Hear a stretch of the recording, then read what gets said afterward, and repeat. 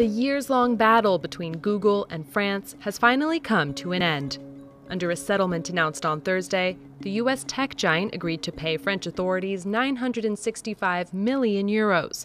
Of the total sum, 500 million euros will settle a fine for tax fraud, while the remaining 465 million euros will pay off back taxes. Euh, it's a historic victory because it marks a new era. We have settled our dispute with Google.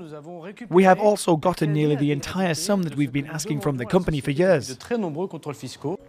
French investigators had been probing Google for tax evasion since 2015. Authorities claimed the digital giant was avoiding paying its fair share in France by reporting its sales from Ireland.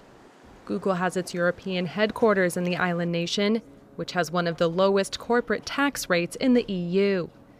Paris and other European governments oppose this practice, as it allows the company to avoid paying taxes on the profits and sales it generates elsewhere. Google is now having to reckon with the changing tide. There's an implicit recognition that Google had to pay more taxes. It's a new age. They've gone to court across the EU and there are new taxes being imposed.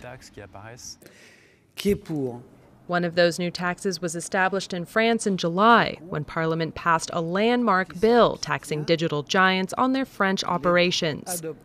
Paris says it will scrap that 3% tax once a new international regulation is agreed upon.